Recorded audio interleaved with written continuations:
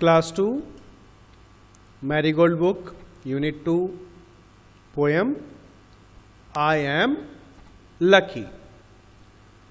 আমি প্রথমে একবার সিম্পল রিডিং করে দিচ্ছি তারপরে মানেটা বোঝাবো।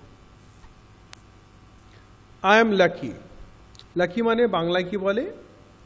ভাগ্যবান তাই না? যার ভাগ্যটা ভালো থাকে।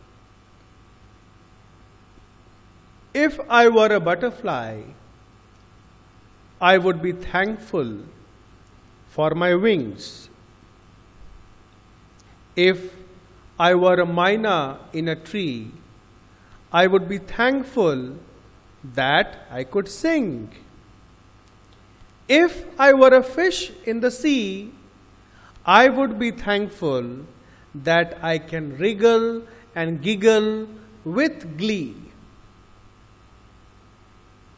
So, I just think I am lucky to be me, not you, but me. If I were an elephant, I would be thankful that I can raise my trunk. If I were a kangaroo, I would try to hop right up to the moon. If I were an octopus, I would be thankful for my eight arms.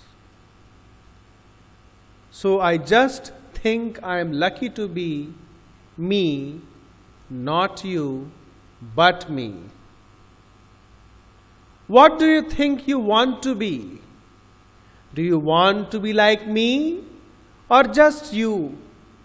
Just you খুব একটা সুন্দর কবিতা। একটু মানেটা বুঝে নেব আমরা সবাই। বলছে if I were a butterfly I would be thankful for my wings জমি, যদি আমি একটা প্রজাপতি হতাম, তাহলে আমি খুবই কৃতজ্ঞ হতাম। থ্যাঙ্কফুল মানে ভালো বাংলায় বলা হয় কৃতজ্ঞ। বা যদি সহজভাবে বলি, তাহলে আমি খুবই ধন্যবাদ জানাতাম। কিসের জন্য ধন্যবাদ জানাতো? ফর মাই উইংস আমার পাখার জন্য। কেন ধন্যবাদ জানাতে বলো তো? কারণ বাটারফ্লাই তার পাখার সাহায্যে এদিক ওদিক ফুলে ফুলে উড়ে উড়ে বেড়াতে পারে।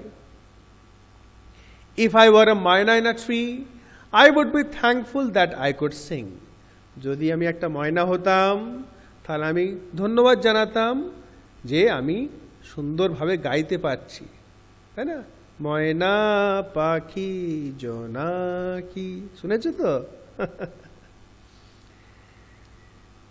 if I were a fish in the sea, I would be thankful that I can wriggle and giggle with glee. যদি আমি একটা মাছ হতাম তাহলে আমি ধন্যবাদ জানাতাম। কিসের জন্য? যে আমি রিগল অ্যান্ড গিগল মানে রিগল মানে হচ্ছে যে এঁকে বেঁকে মাছগুলো যে সমুদ্রে বা জলের ভেতরে যেটা নড়াচড়া করে আর গিগল হাসিটাকেও বলা হয়। তাহলে এই নড়াচড়া বা চলাফেরা করবে আর হাসবে কী করে? গ্লি মানে খুশিতে, আনন্দতে আমি হাসতাম, চলে বেড়াতাম। So I just think I am lucky to be me তা বলছে, আমি শুধু একটাই জিনিস ভাবছি যে আমি খুব ভাগ্যবান, আমি খুব লাকি জি আমি আমার মতনই আছি। নট ইউ বাট মি তোমার মতন নয়, আমি শুধু আমিই আছি। তার মানে এখানে কথা বলা হচ্ছে যে আমরা সবাই কিন্তু সবাই থেকে আলাদা। ঈশ্বর সবাইকে আলাদাভাবে বানিয়েছে সবার মধ্যে আলাদা আলাদা কোয়ালিটি গুণ আছে। সেজন্য আমরা অনেক সময় ভাবি না, যদি আমি এরকম হতাম, আমি ওর মতন হতাম, কত ভালো হতো। এটা কিন্তু ঠিক নয়। আমরা যেমন আছি, সেটার মধ্যে আমাদেরকে খুশি থাকতে হয়। If I were an elephant, I would be thankful that I can raise my trunk.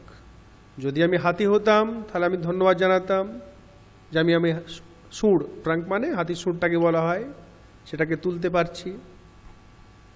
If I were a kangaroo I would try to hop right up to the moon আর যদি আমি একটা ক্যাঙ্গারু হতাম আমি hop মানে লাফি লাফি একদম সোজা চাঁদে চলে যেতাম।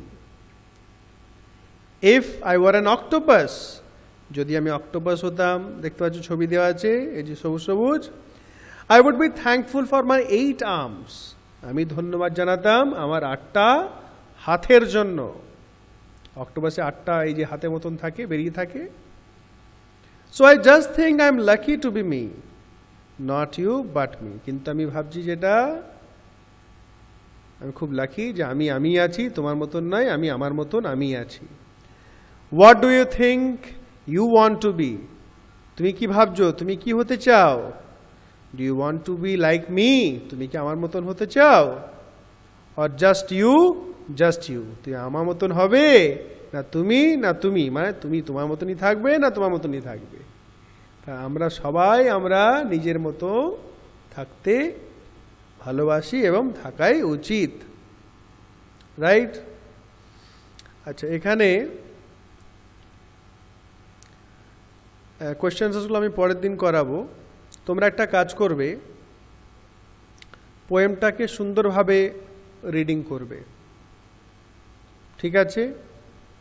সুন্দরভাবে রিডিং করবে একদম, পরিষ্কার করে, দিয়ে রেকর্ডিং করে আমাকে পাঠিও।